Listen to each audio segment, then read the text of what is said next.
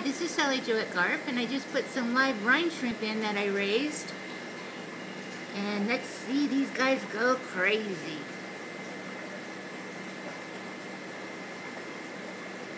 You see the little things floating around in the sand bed. Little amphipod. I don't know what those are. Little tiny shrimp of some kind. Just look at them.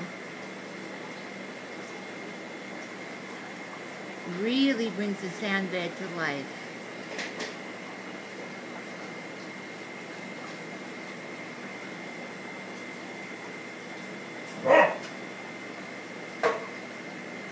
Look at those starfish.